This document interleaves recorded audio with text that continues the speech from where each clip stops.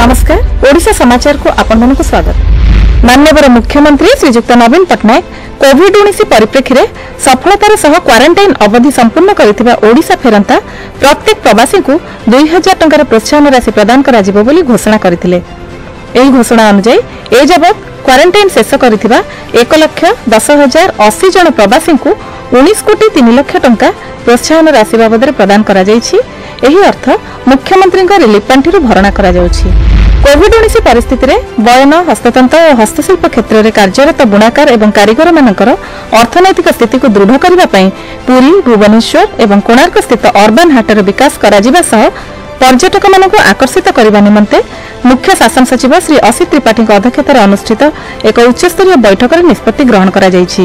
ଏହି ଅର୍ବାନ୍ ହାଟଗୁଡ଼ିକରେ ବୁଣାକାର ଓ କାରିଗରମାନେ ବର୍ଷସାରା ସେମାନଙ୍କ ଉତ୍ପାଦିତ ସାମଗ୍ରୀ ସିଧାସଳଖ ଘରୋଇ ଏବଂ ଅନ୍ତର୍ଜାତୀୟ ପର୍ଯ୍ୟଟକମାନଙ୍କୁ ବିକ୍ରି କରିପାରିବେ। ଏହା ସେମାନଙ୍କ ଆର୍ଥିକ ଅଭିବୃଦ୍ଧିରେ ସହାୟକ ହେବ।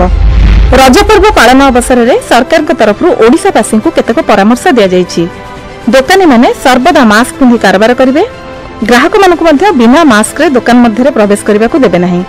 ନଗଦ କାରବାର ନ କରି ଯଥାସମ୍ଭବ ଡିଜିଟାଲ ମାଧ୍ୟମରେ ଅର୍ଥ ଦେଣନେଣ କରିବେ। କପଡ଼ା ଦୋକାନୀମାନେ ମଧ୍ୟ ନିଶ୍ଚିତ ଭାବରେ ଗ୍ଲୋଭ୍ସ ପିନ୍ଧିବେ। ଗ୍ରାହକମାନେ ମଧ୍ୟ ସାମାଜିକ ଦୂରତା ରକ୍ଷା କରି କିଣାକିଣି କରିବେ।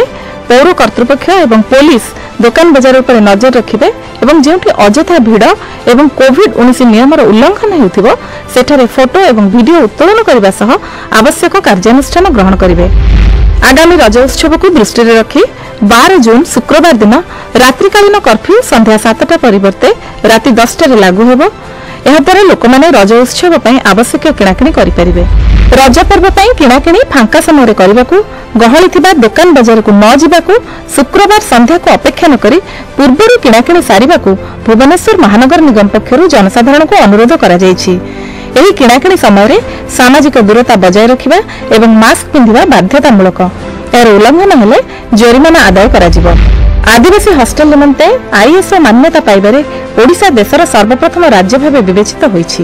ପ୍ରଥମ ପର୍ଯ୍ୟାୟରେ କେଉଁଝର ଜିଲ୍ଲାର ଶହେ ଛପନଟି ହଷ୍ଟେଲ ଏବଂ ସମ୍ବଲପୁର ଜିଲ୍ଲାର ନବେଟି ହଷ୍ଟେଲର ଭିତ୍ତିଭୂମି ମୂଲ୍ୟାୟନ କାର୍ଯ୍ୟ ଆରମ୍ଭ କରାଯାଇଥିଲା। ତନ୍ମଧ୍ୟରୁ ଯୋଗ୍ୟ ବିବେଚିତ ଚଉରାଳିଶଟି ଆଦିବାସୀ ହଷ୍ଟେଲକୁ ଆଇଏସ୍ଓ ମାନ୍ୟତା ପ୍ରଦାନ କରାଯାଇଛି। ଏପର୍ଯ୍ୟନ୍ତ ବାହାର ରାଜ୍ୟଗୁଡ଼ିକରୁ ଓଡ଼ିଶାକୁ ପାଞ୍ଚ ଲକ୍ଷ ବାଇଶ ହଜାର ଶହେ ଅଡ଼ଚାଳିଶ ଜଣ ଫେରିଛନ୍ତି। ଆଜି ସକାଳ ନଅଟା ସୁଦ୍ଧା ରାଜ୍ୟରେ ମୋଟ କୋଭିଡ୍ ଆକ୍ରାନ୍ତଙ୍କ ସଂଖ୍ୟା ଚଉତିରିଶଶହ ଅଠାନବେରେ ପହଞ୍ଚିଛି।